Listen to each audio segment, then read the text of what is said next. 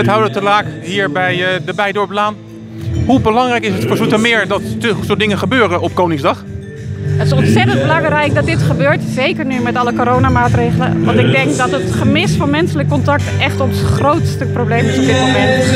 En even zo'n concert waar we alle regels uh, gewoon laten uh, gelden. Hè. Iedereen staat op zijn eigen balkon en anderhalve meter afstand.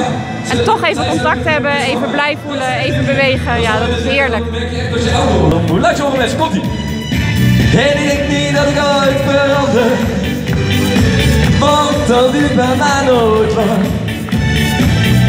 En ik heb er ook geen zin in. Ik ben het niet van plan. Nou ja, we zijn nu op dit moment met vier zangers. Uh, ik ben er een van Johan Rens, Ricky Jans is erbij, Giovanni van der Veen is erbij en Evie Muis is erbij. En allemaal zingen we een ander genre, we willen een beetje diversiteit. Ik zing Nederlandse feestmuziek met een tintje Elvis erbij. Uh, ja, als je ziet wat er allemaal gebeurt en wat er met die ouderen gebeurt en met de gehandicapten, dat is echt bizar voor woorden. Hele mooie verhalen, ook minder mooie verhalen, want die maak je ook mee. Maar als we dit mogen doen voor de mensen en iedere keer weer blije gezichten. Heel veel reacties. Ik heb honderden reacties gehad de afgelopen tijd. Nou, dat heeft Soetermeer Actief ook uh, gezien op de Gondelkade onder andere. Ja, dat was uh, één groot feest en daar ben ik nog zeker niet klaar mee.